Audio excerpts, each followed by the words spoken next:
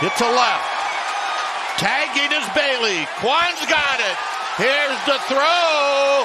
And this game is over.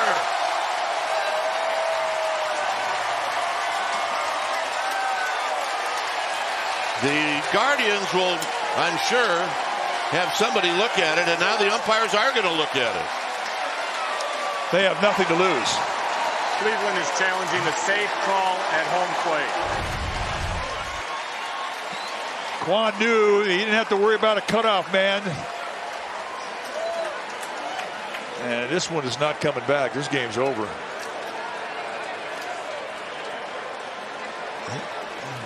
He is safe. After review, the call on the field is confirmed. The runner is safe. There's your ball game.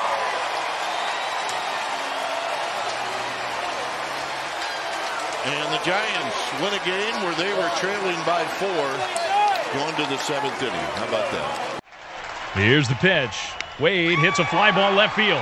Kwan going back on it. Kwan will make the catch. Bailey's going to test him. He's tagging. Here comes a throw. The slide. He's safe at home plate. Kwan made a great throw, and Patrick Bailey just barely made it in, but he did.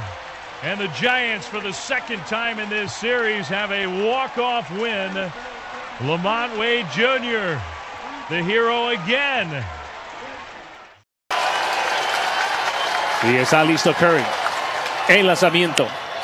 Elevado al izquierdo, profundo. Juan está esperando. Captura desde tercera base. Se deja venir Patrick Bailey. Viene el tiro. Se desliza. Safe en el